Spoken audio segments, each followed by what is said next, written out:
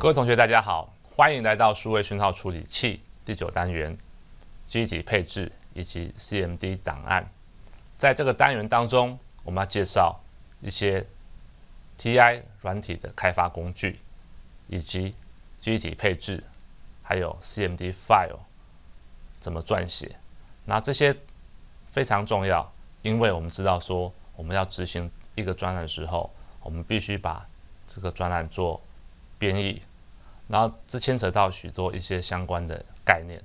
所以在这个单元中我们会来做介绍。好，那我们来看下去。首先我们要介绍我们的单元学习目标以及大纲。首先我们要介绍 TI 软体发展工具，然后接下来我们介绍 TMS 三二零 F 二八零二七的机体配置，也就是也就是在这门课当中我们所用到硬体二八零二七它的机体的配置的方式。然后介绍完机体配置，我们会介绍它机体的区块配置属性以及限制。然后最后我们会介绍如何来撰写一个 CMD 文件的格式。好，最后我们会有一些范例的练习，让各位同学来了解到底机体配置跟 CMD 文件是有怎么样的关系。那当然这边有一些相当相关的文件，各位同学可以去参考。因为在课程上面，我们所能提到的有限。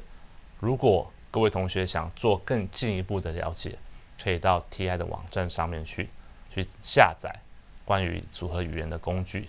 也就是我们投影片投影片上面所显示这样的网址，去下载这个档案。如果想了解它的 compiler 跟 linker 的使使用方式，也可以去 TI 的网站上面下载它的。说文件说明档。好，那我们第一个 part 要介绍 TI 软体发展工具。这边是上，我们总总共分成三个部分。先介绍第一部分。首先，它发展的工具有包含的 compiler、assembler，还有 runtime support libraries，包含 archiver and linker and library information archiver。然后还有 absolute lister and cross reference lister，还有 dis disassembler，还有 object file display utility，还有 strip utility，还有 hex conversion utility。那这些发展工具，其实我们等下会一一介绍。也就是说，我们在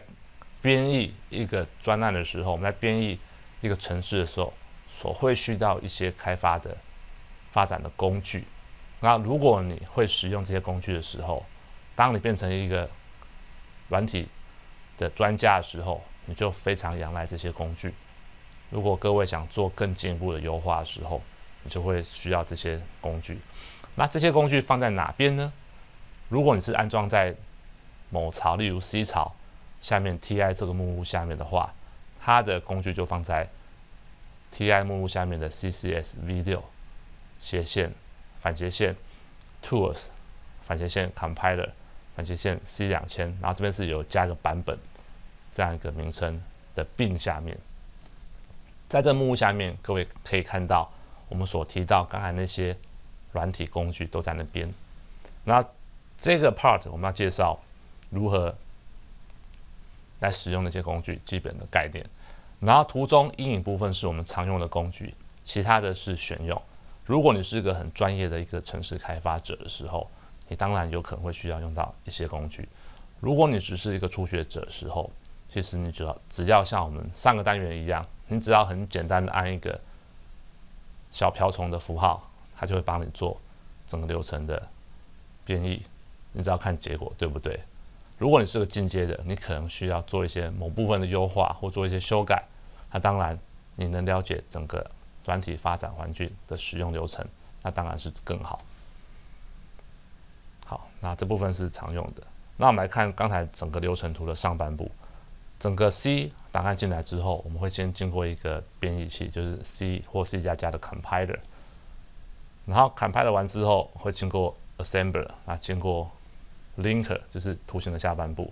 哦，连接器。那这边包含了很多的一些相关的发展工具。好，我们先来一一介绍。首先，我们介绍 C 跟 C 加加的编译器 compiler，然后这个编译器基本上是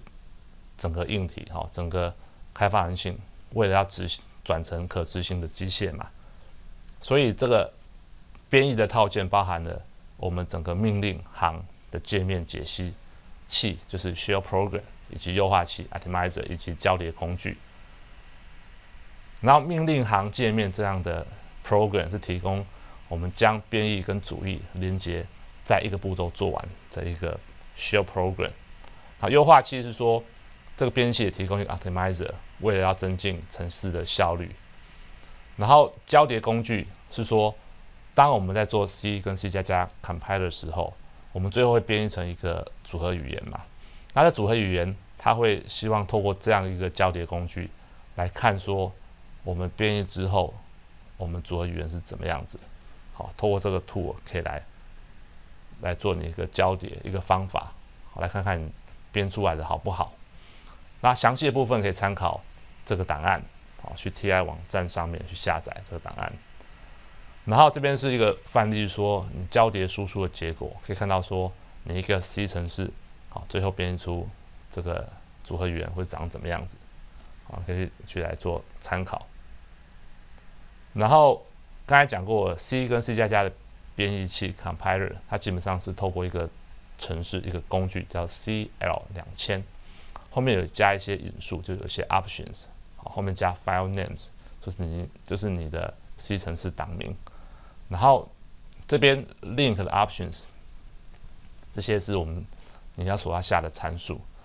好，所以基本上我们这个下这个指令的时候，我们可以执行我们的 compiler 跟我们的 assembler 的功能。好，接下来经过 compiler 之后，之后我们把整个 C 程式变成组合语言程式嘛，它就会经过主译器去把真正的程式码变成一些机械码。好，那在这个介绍之前，我们来先介绍假指令 directives。那用在组合语言中，因为我们刚才是把 C 变成了组合语言，所以用在组合语言当中，我们要定一些程式码的部分，或是已经初始化。不是常数形态的资料区段，例如说点 data。如果是程式区段，我们就会看到程式码中会有点 text、点 t e s t 这样的假指令出现。好，所以在我们整个组合语言里面，程式会有这样这些假指令的形态，例如包含点 ebss，也就是定义未初始化的变数，或是已经初始化之常数形态资料，点 e constant，或是以初始化变量跟常数表点。C unit 好，或是函数呼叫的堆叠点 stack，那这些都会假指令都会出现在我们的组合语言程式里面，然后还包含了一些点 byte 点 chart 或是一些对位元对齐，还有保留集体空间，甚至点 title 点 length 或是点 label 点 set 或是点 macro 或是点一些点或是一些定义我们的组合语言的 function 的假指令。好，那 assembler 基本上是要主译，好，我们组合语言将它成为机械语言，然后包含了指令，还有那些假指令以及聚集的假指令。然后假指令不会直接产生机械嘛，它主要目的是为了方便程式设计人员灵活的控制不同主语的程序。例如说，你看到一个组合语言，它发现它里面有一些假指令，那例如点 data 后面就是怎么样，代表资料区段，那点 test。后面就代表程式区段，然后你也可以可以看到说，我们在我们 CMD file 也有一些假指令，例如说 ROMs 这个假指令来定义机体中 ROM 的范围。哦，在下一个部这个单元我们会介绍 CMD file，我们就会介绍。然后整个 assembler 也可以透过这个 CL 两千这个指令，好来做一个主意。各位同学。在这个 part，我们介绍了我们在开发整个专案的时候所会用到的一些软体工具，包含了 C、C 加加的 compiler 以及后面的主译器。然后在我们用 CCS 的时候，它背后是让这些执行的工具，只是表面上我们是让一个图形界面，但是它骨子里还是让这些程式。在我们早期开发整个 DSP 的专案时候，我们是一步一步。来执行这些程式，所以现在 TI 提供一个非常好的界面，就是 CCS，让你做这样一整个流程的执行。啊，当然它每个工具有一些参数的设定，也可以透过 CCS，你可以进去它的一些性质里面做设定，然后真正设定出你所想要执行的一些参数。好，那我们下一个 part 我们会继续来介绍这些执行 tool 它的其他的功能。